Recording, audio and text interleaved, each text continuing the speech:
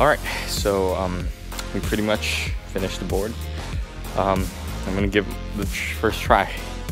Decided to put protection on. There's there's a elbow pad in there, knee pads. Not gonna die today. Um, yeah, so let's connect up all the stuff. So first we need to put the batteries in. So the batteries are going to be oriented like this with a zip tie. With a zip tie holding them in.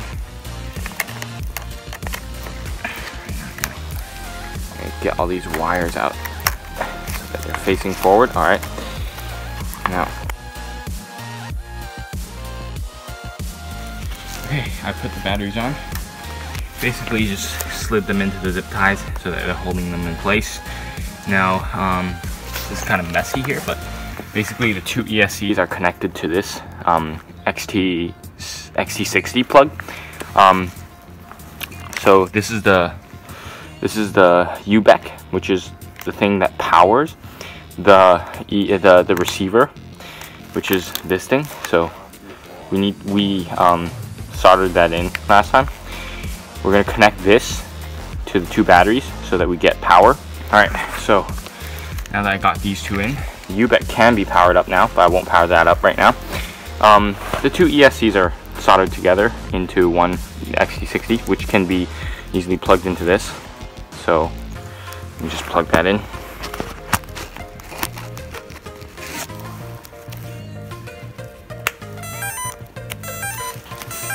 It'll start beeping. All I need to do is turn on the UBEC have the receiver and turn this on.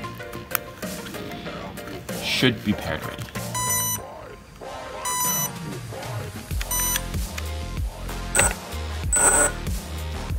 Yep.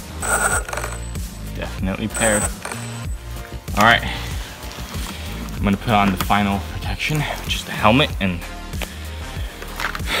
let's see if this board works. Mm-hmm. Ooh.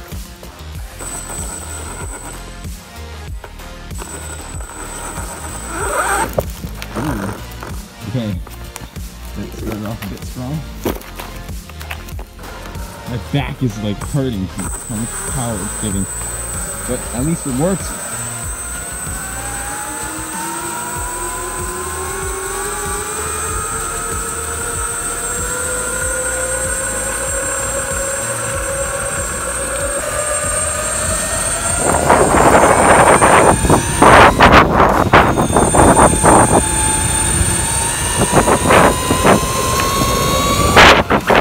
Okay, that's scary.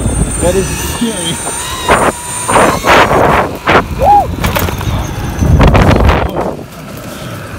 Hmm. My back hurts from trying to keep my body in place. That is so fast. This is crazy. This is... Oh, This is insane. Well, if you know it works. I think we need to tweak a bit of the acceleration, but I probably need to turn down the top speed because right now this is insane, insane.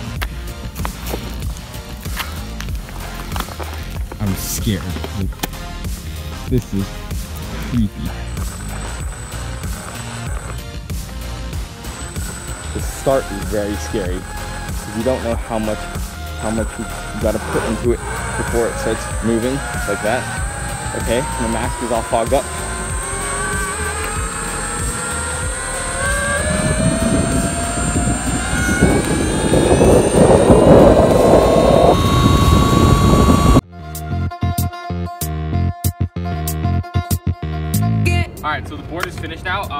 Taped up a few places to make it look better. Uh, yeah, we're gonna ride it now.